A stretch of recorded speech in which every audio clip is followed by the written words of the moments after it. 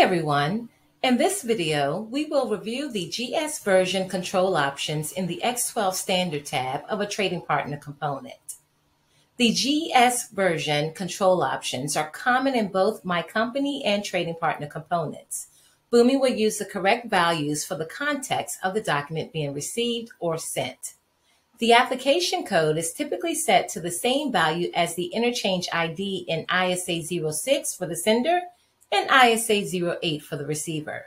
Sometimes, however, you may have a reason to set the application code differently. The application code is one of the values that is used to match an incoming document to the sender and receiver trading partner components. The sender's application code is in the GS02 field, while the receiver's application code is in the GS03 field. The responsible agency code indicates the agency that controls the standard for the type of document being sent.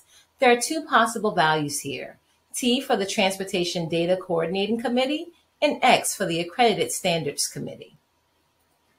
The GS version is a code that indicates the version, release, and industry for the type of document being sent. Include the prefix 00. Usually this will be very similar to the ISA version, but with an additional zero at the end. And that's all for the GS version control options. Thank you for watching. Look for more X12 trading partner videos on the Boomi YouTube channel.